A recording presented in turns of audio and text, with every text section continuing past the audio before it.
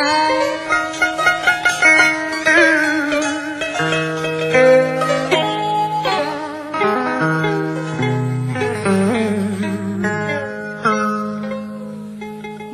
Đức Thế Tôn, Con là tu Bạc Đà La, Một trăm hai mươi tuổi đầu mới được xuất,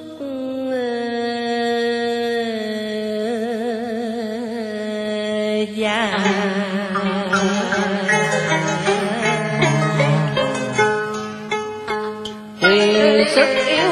Già, Con tiếp chi lo tu. Học thiền kinh luật, Tam hối tình tấn công phu. Nhưng hỡi ơi sức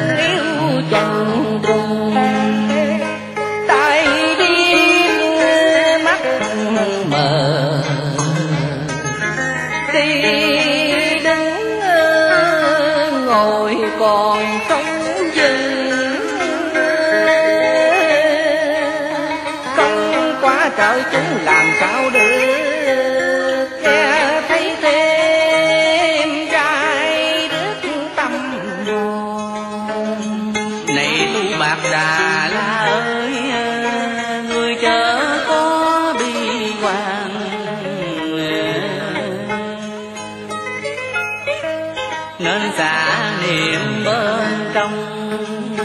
Tỳ thần gương quang tự sáng lòa lặng tâm thiền chớ có theo dòng tương bỏ niệm rằng chúng ngài viết dòng quần chân thì đã khỏi lưng dù rằng con được pháp duyên thâm nhưng lòng đã đất bàng hoàng. Tình như lai chớ vô niết bàn, cho chúng con được bình an. Bạch đức thế tôn con xin được cúng dường lên quay thần tam bảo.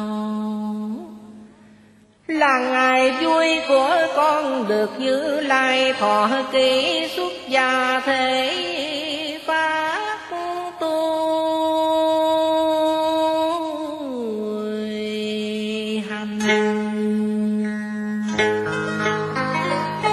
Một trăm hai mươi tuổi đời, con mới có niềm vui tột bậc an lành.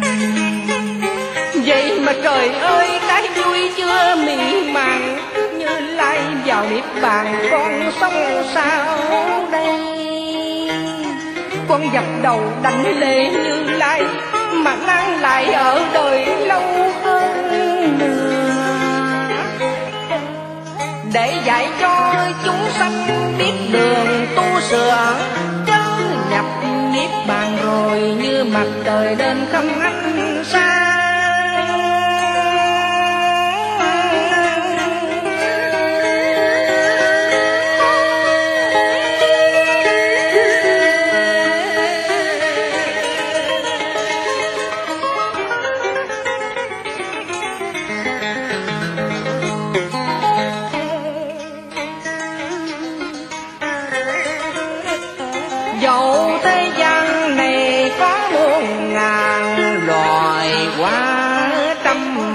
màu dạng sắc Không có anh bình minh, thì làm sao qua đời ngát đời? Tức Như Lai đã bóng hào quang chiếu sáng cho muôn loài. Là tình thương mẹ cho con luồng hơi ấm để sưởi tâm hồn gia chúng sanh còn mê mờ, nên lọt nẻo gai trong rừng cẩm bảy lâm vào khổ già.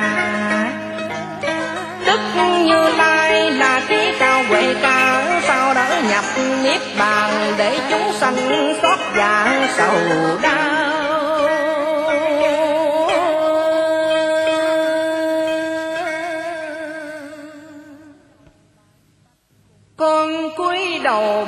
bạch phụng thịnh đức như lai. Ở lại cõi đời dài lâu để ban đẩy hồng ân cho muôn loài chúng sanh biết đạo lý.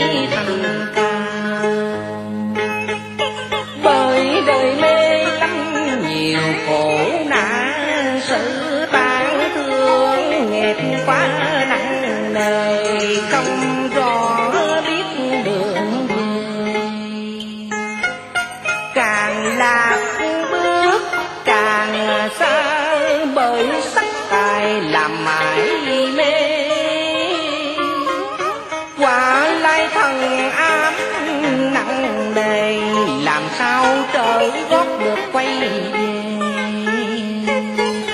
nguyện xin cầu phật độ cho muôn người tỏ ngộ dứt đường mê. Tâm nguyện của chúng con đã tỏ bài kính xin Đức Như Lai từ bi minh. Chứng Mở lối cho con đi chỉ đường cho con cảnh nổi trôi trên đường lục đảo nẻo.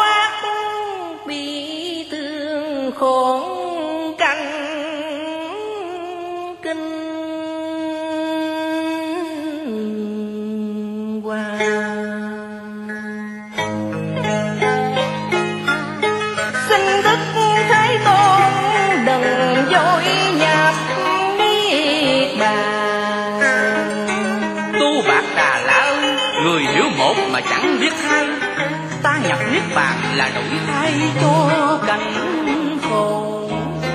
Bởi đời mê nên chúng sanh chưa tỏ ngộ, ta thị niệm cõi đời là cứu khổ cho nhân thiên cho chúng sanh nào mà có chút hữu duyên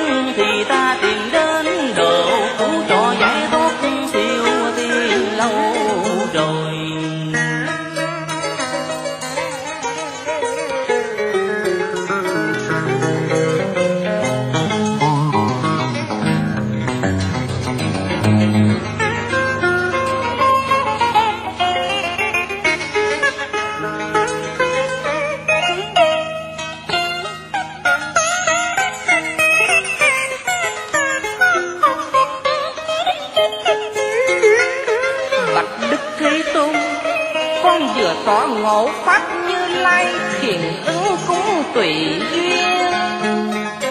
Quả diệu sâu rộng lớn vô biên kho bảo tàng ẩn chìm trong thể tánh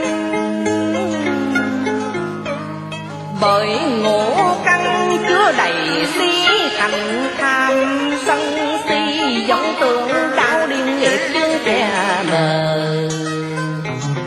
con thấy tấn tam minh lục phong diệt tận định mai đạo thiền cặp bên tây pha.